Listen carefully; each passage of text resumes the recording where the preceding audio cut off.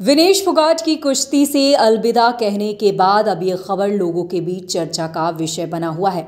तो वहीं अब भारत की स्टार पहलवान विनेश फोगाट को पेरिस ओलंपिक से अयोग्य ठहराए जाने के मुद्दे पर गुरुवार, यानी कि आज राज्यसभा में भी ये मुद्दे उठाए गए। इस बाबत विपक्षी नेताओं ने जब विनेश फोगाट के मसले पर बोलने की इजाज़त मांगी तो टीएमसी सांसद डेरेक ओब्रायन ने सदन में चिल्लाना शुरू कर दिया। इसके बाद तो सभापति जगदीश धनखड़ नाराज़ हो गए। उन्हें इतना गुस्सा आया कि डेरेक ओब्रायन को कस के सुना दिया। सभापति जगदीश धनखड़ ने भरी सदन में ममता बनर्जी के सांसद डेरेक ओब्रायन को डांटा।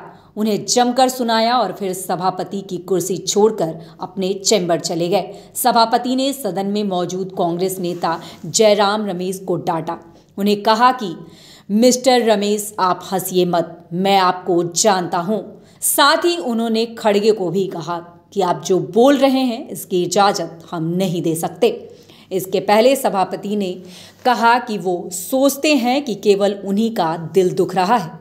लड़की की वजह से पूरा देश दर्द में है। हर कोई इस दर्द को साझा कर रहा है, लेकिन इसका राजनीतिकरण करना लड़की का सबसे बड़ा अपमान है। उस लड़की को अभी बहुत आगे जाना है। साथ ही उन्होंने सांसद को फटकार लगाई और कहा कि आपकी हिम्मत कैसे हुई अध्यक्ष पर चिल्लाने की।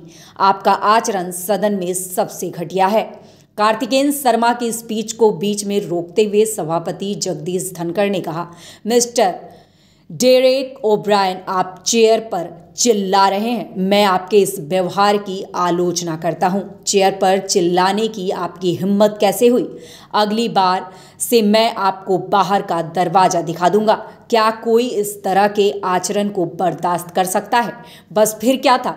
आग बबूला हुए सभापति आसन से उठ खड़े हो गए और अपने चैम्बर चले गए। विपक्ष के हंगामे पर सभापति ने कहा, ये मेरे लिए चुनौती नहीं है। ये राज्यसभा के सभापति के पद के लिए चुनौती है। उन्होंने कहा कि उन्हें लगता है कि इस कुर्सी पर बैठा व्यक्ति इस पद के लायक नहीं है। इसके बाद वो दुखी मन से चेयर से उठ गए और इसके बाद सभापति धनकर आसन से उठकर चले गए और फिर उपसभापति हरिवंश ने सदन की कमान संभाली।